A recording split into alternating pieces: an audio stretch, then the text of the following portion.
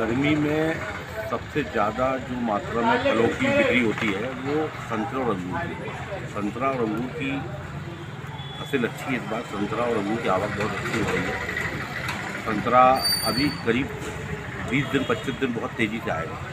अंगूर लगभग अभी दो महीने और चलेगा। डेढ़ से दो महीने अंगूर लगातार आएगा। अभी संतरा जो है, माया थोक मंडी में पचास रुपये पचपन रुपये किलो बिक रहा है। अंगूर अच्छा पचपन से साठ रुपये किलो बिक रहा है।